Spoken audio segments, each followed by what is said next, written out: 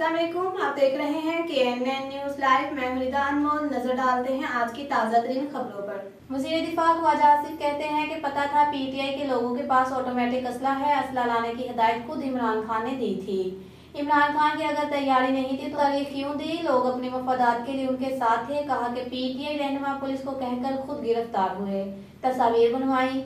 अस्तीफे अगर दे दिए हैं तो मंजूर कराएँ ये लोग नशिस्तें छोड़ने में मुखलिस नहीं, पचासी लॉजिस लिए गए रोड टू मक्का पहली हज परवाज पाँच और छह जून की दरमियानी शब इस्लामाबाद से रवाना होगी सेक्रेटरी मजहबी अमूर का कहना है कि हज ऑपरेशन को एक माह की कलील मुद्दत में मुकम्मल करके नई तारीख रकम की।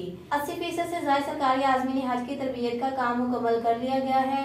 आज ऑपरेशन 2022 प्लान के मुताबिक आगे बढ़ रहा है। वज़ीर अजम मियाँ मोहम्मद शहबाज शरीफ का मुल्क में आटे की कीमतों में इजाफे का सख्त नोटिस वज़ीर अजम ने मुतल गुजरा और वजारतों से रिपोर्ट तलब कर ली वज़ीर अजम ने मुल्क भर में आटे की कीमत हुकूमती ऐलान के मुताबिक करने के लिए सख्त हदायत की है। वज़ीर अजम शहबाज शरीफ ने कहा है कि आवाम को लूटने वालों को लूटने की इजाज़त नहीं देंगे। आवाम को हुकूमती नरकों पर आटे की फ्राहमी यकीनी बनाई जाए।